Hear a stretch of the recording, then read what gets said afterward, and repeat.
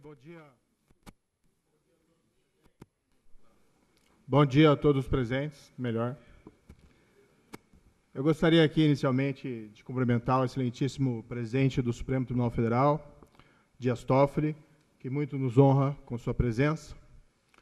O Supremo Tribunal Federal, uma instituição, como todos sabem, criada pela genialidade de Rui Barbosa, inspirada na Suprema Corte norte-americana, é uma pedra fundamental do Estado de Direito e da democracia, a qual rendo minhas homenagens na pessoa do ministro. O ministro Dias Toffoli é também presidente do Conselho Nacional de Justiça, que tem um papel fundamental na administração da justiça. Recentemente, o ministro declarou que a justiça, em especial o CNJ, deve se envolver mais na incrementação da qualidade das políticas penitenciárias e da segurança pública. Eu quero dizer desde logo, ministro, que o Ministério da Justiça e da Segurança Pública pretende ser um parceiro nessas iniciativas do Conselho Nacional de Justiça. Esperamos aqui manter uma relação de cooperação para a construção de um futuro melhor nessa área. Cumprimento os presidentes das Cortes Superiores aqui presentes. Muito me honra também a presença de Vossas Excelências, demais magistrados aqui presentes. Gostaria de cumprimentar especialmente também os colegas ministros que nos acompanharão nesse desafio do novo governo, estendendo também a esse compromisso aos ministros uh, que estão passando o cargo. Gostaria aqui de um cumprimento muito especial aos comandantes das Forças Armadas. Eu compartilho do mesmo sentimento do ministro Raul Jungmann, uh, o meu apreço às Forças Armadas. Acredito que as Forças Armadas brasileiras de excelente qualidade têm ainda prestado um papel de fiador da estabilidade, juntamente com o Supremo Tribunal Federal, nos últimos anos no país. Tomo a liberdade de cumprimentar todos na pessoa do amigo comandante Vilas Boas, aqui presente. Gostaria aqui de uma congratulação igualmente especial à minha equipe, pessoas dignas e competentes que aceitaram o desafio de vir comigo às enormes responsabilidades do Ministério da Justiça e da Segurança Pública. Não se faz um bom trabalho, isso todos sabem, sem uma boa equipe. E posso dizer aos senhores e senhoras que o selecionei em vista do seu histórico profissional de competência, independência e bravura. E dos senhores e senhoras, por isso, espero também somente o melhor e a máxima dedicação. Um cumprimento igualmente especial aos ministros que me antecederam, Raul Jugman, Torquato Jardim, Vossas Excelências dignificaram os cargos durante sua gestão e é uma honra sucedê-los. Igualmente, uh, deixo bem claro que o que foi feito, o legado das gestões de Vossas Excelências, das gestões anteriores, de forma nenhuma está sendo abandonado, apenas pretendemos dar a continuidade e fazer tudo o que for possível para melhorar o serviço público cada vez mais, que é essa aspiração da sociedade brasileira. O Ministério da Segurança Pública, ele na verdade, não se vai, ele permanece apenas com uma outra roupagem. O extraordinário eu vou deixar realmente.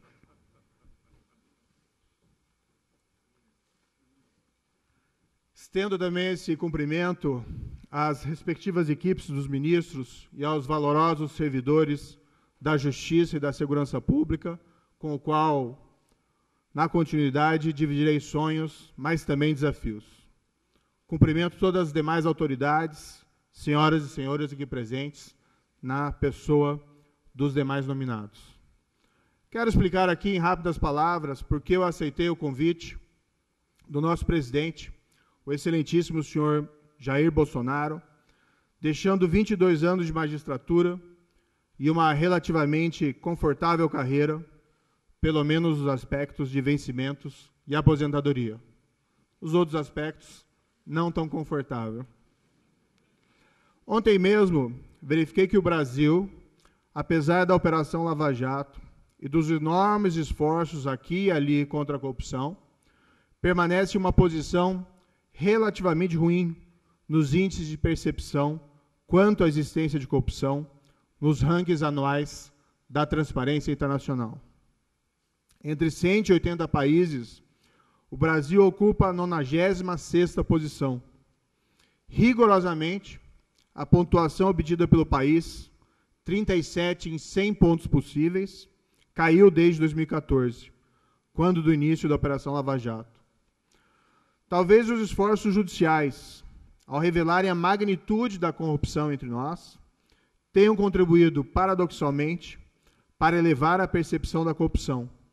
Ao invés desses esforços, eles terem chamado a atenção para o quanto nós temos, não só a instituição judiciária, mas todas as instituições em volta da justiça criminal, e igualmente a sociedade, o quanto nós temos dedicado a superá-la. Isso, para mim, ilustra uma verdade reconhecida e que já repeti várias vezes. Não se combate a corrupção somente com investigações e condenações criminais eficazes. Elas são relevantes, pois não há combate eficaz à corrupção com impunidade e sem riscos de punição para os criminosos. Mas elas não são suficientes. São necessárias políticas mais gerais contra a corrupção. Leis que tornem, o sistema de justiça mais eficaz. Leis que diminuem incentivos e oportunidades contra a corrupção. Um juiz em Curitiba pouco pode fazer a respeito dessas políticas gerais. Mas no governo federal, a história pode ser diferente. Há um outro grande desafio: o crime organizado. Grupos criminosos organizados, alguns que dominam nossas prisões, estão cada vez mais poderosos. É preciso enfrentá-los com leis mais eficazes, com inteligência e operações coordenadas entre as diversas agências policiais, federais e estaduais. O remédio aqui é universal, embora nem sempre de fácil implementação. Prisão dos seus membros, isolamento carcerário das lideranças, identificação da estrutura e confisco de seus bens. Assim se leva ao enfraquecimento e ao desmantelamento delas não é uma tarefa impossível. Nos Estados Unidos, as famílias mafiosas, outrora superpoderosas, foram desmanteladas pelo FBI e pelo Departamento de Justiça a partir da década de 80. Na Itália, a aura de invencibilidade da Cosa Nostra siciliana foi quebrada graças aos esforços conjuntos da polícia, Ministério Público e de magistrados entre eles os juízes heróis Giovanni Falcone e Paolo Borsellino. O crime violento também aterroriza a população brasileira. As elevadas taxas de homicídio, já mencionadas pelo ministro Raul Jungmann, constituem o pior exemplo. Mas os índices de roubos armados, estupros e de crimes violentos em geral geram uma atmosfera de insegurança que deve ser combatida com estratégia, inteligência e políticas públicas eficazes. Essas elevadas taxas de criminalidade, seja do crime de corrupção, seja do crime organizado, seja do crime violento, prejudicam o ambiente de negócios e o desenvolvimento. Pior do que isso, geram desconfiança e o medo, afetando a credibilidade das instituições. E, em certo nível, a própria qualidade da democracia e da vida cotidiana. Não há uma resposta ou uma tarefa fácil aqui, mas o compromisso do Ministério é, com todos os esforços e dedicação possível do ministro, dos secretários, dos dirigentes, dos servidores dos ministérios e de todos órgãos e departamentos vinculados a eles, iniciar um ciclo virtuoso de diminuição de todos esses crimes, prosseguindo no legado das gestões anteriores. Tudo isso dentro de um ambiente de respeito às instituições e ao Estado de Direito.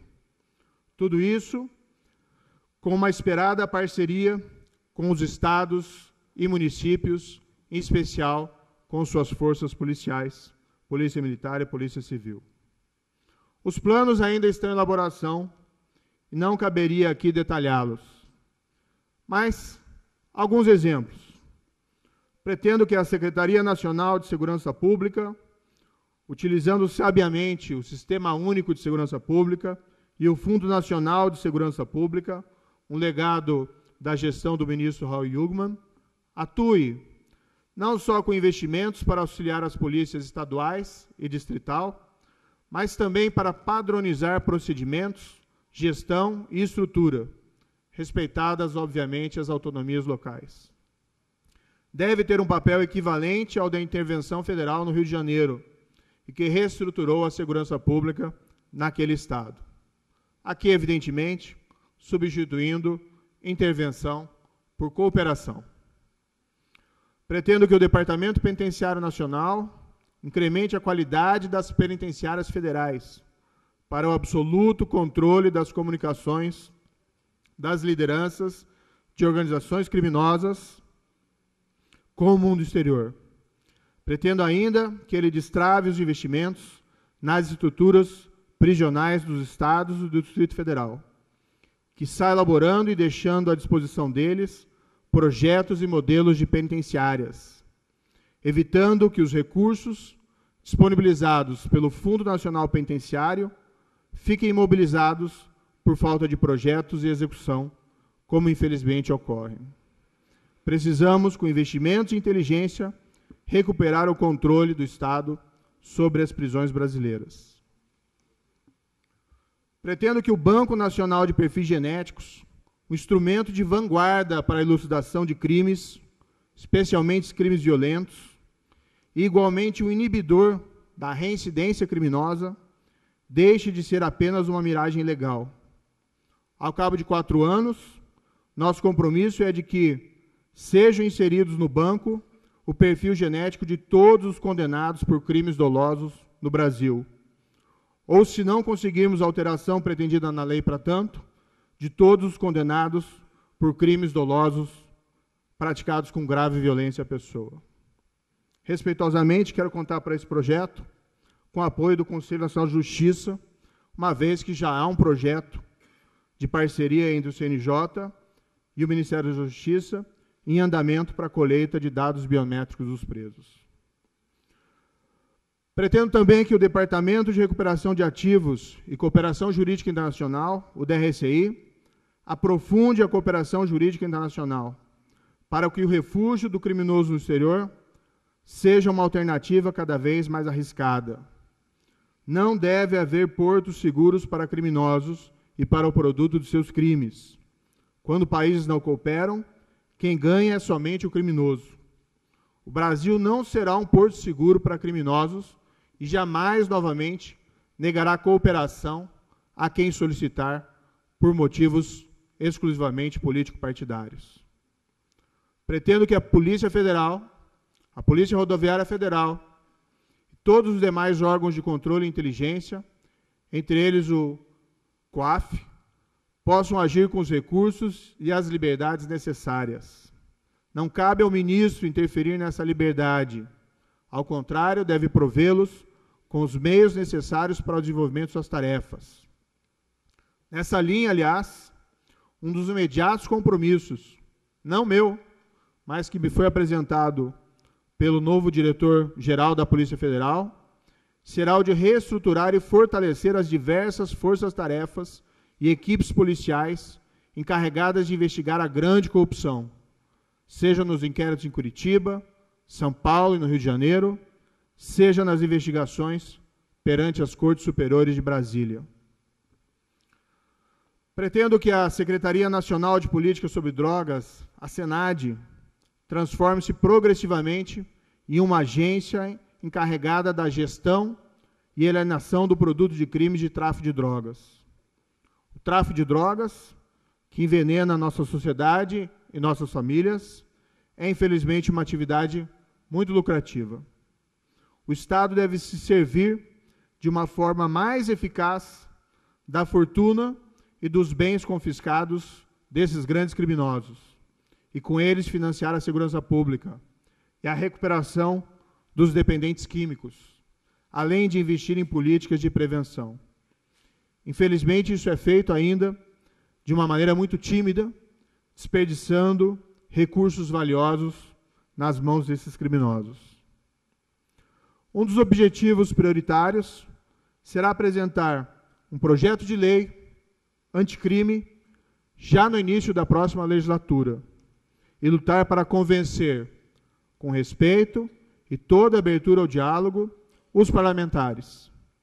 Não haverá aqui a estratégia, não muito eficaz, de somente elevar penas.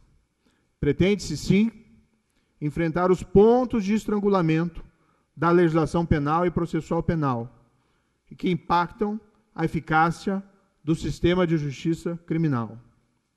Propostas simples, mais eficazes, como, entre outras, a previsão de operações policiais disfarçadas para combater o crime, a proibição de progressão de regime para membros de organizações criminosas e o plea bargain para que a justiça possa resolver rapidamente casos criminais nos quais haja confissão. Pretende-se deixar mais claro na lei, como já decidiu diversas vezes o plenário do Supremo Tribunal Federal, que no processo criminal a regra deve ser da execução da condenação após o julgamento da segunda instância. Este foi o mais importante avanço institucional dos últimos anos, legado do saudoso ministro Teori Zavascki. Pretendemos honrá-lo e igualmente beneficiar toda a população com uma justiça célere, consolidando tal avanço de uma maneira clara e cristalina na legislação. Processo sem fim é justiça nenhuma. Pretende-se ainda fortalecer o Tribunal do Júri, prevendo a execução imediata dos vereditos condenatórios, como já decidiu a primeira turma do Supremo Tribunal Federal, inclusive compondo ela o ministro Dias Toffoli. Esses são apenas alguns exemplos das medidas previstas no projeto em elaboração.